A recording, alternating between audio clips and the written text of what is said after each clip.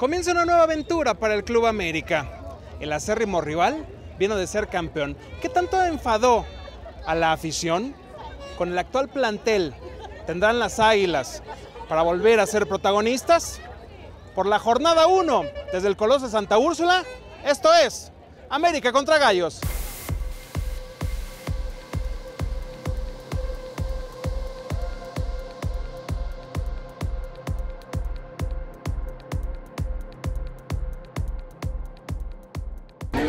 Inicia el vuelo del águila.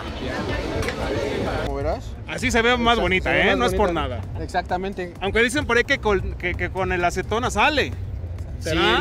Lo tratamos de intentar, echamos a perder como cerca de cinco playeras. Qué barbaridad. ya- No, entonces tú a qué te dedicas, mi hermano? ¿Cuántos miles de pesos por quitarle el mendigo cuadrado este? ¡Qué barbaridad! Es que fue una por cada uno, entonces Ah, por eso cinco ¿qué? playeras. Ah, no, entonces por eso este trae los ojos rojos. Con razón, ¿Cuánta acetona él fue el que daño? le puso. ¿Cuánta acetona le hizo daño? ¡Qué barbaridad! Exacto. ¿Te gustó el diseño? El cabello le hizo Recordando aquel América de los noventas, tú eres de Venezuela. De Venezuela. ¿Tú- ¿A ti te tocó ver alguna vez esa playera o es la primera vez que te toca No, verla? es la primera vez que la veo. ¿Y ¿Te gustó entonces? Me gustó. Tenía la amarilla normal y esta otra. Y me gustó esta. Vine a ver el juego y vine a comprarla también. ¿Y y buen papá te compró tu playera? Sí, ¿Cuánto sacaste en la escuela? este 10. ¿10? No, pues entonces que regrese y que también te compre la chamarra, ¿no?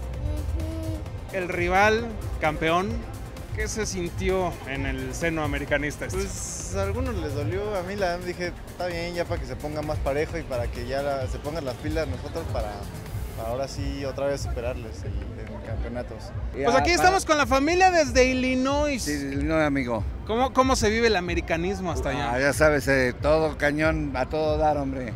Oye. Somos americanistas desde hace muchos años y ahora que estamos aquí, estamos conviviendo y venimos aquí para ver y apoyar a la América. ¿A quién le vas, mijo? América. ¿Este plantel será suficiente para volver a ser protagonista? No, creo que estamos muchos. Sí, falta, ¿qué falta? Falta un constructor, más que nada un constructor. Adelante, estamos bien. No sé, extraño a Zambuesa.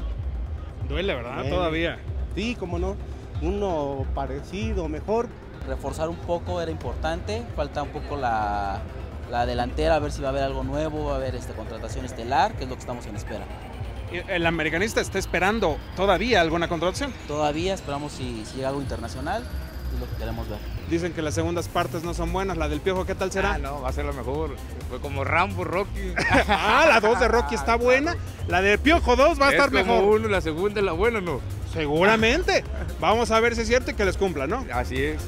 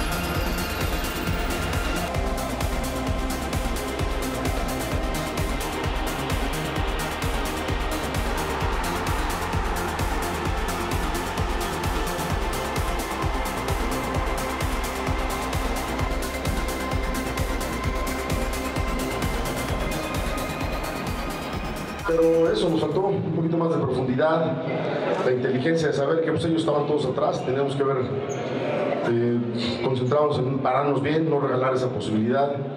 Me parece que hay dos posibilidades en el área muy, muy similares, una se marca y la otra no. Y hoy le llueve sobre mojado a las Águilas del América. Pierde 1 por 0 con gol de penal frente a los Gallos Blancos del Querétaro. En el análisis frío, no se merecía perder. Pero hoy América demostró que va a tener que hacer muchísimo más para poder ser protagonista en esta apertura 2017. Jesús Román Rodríguez, vamos Deportes.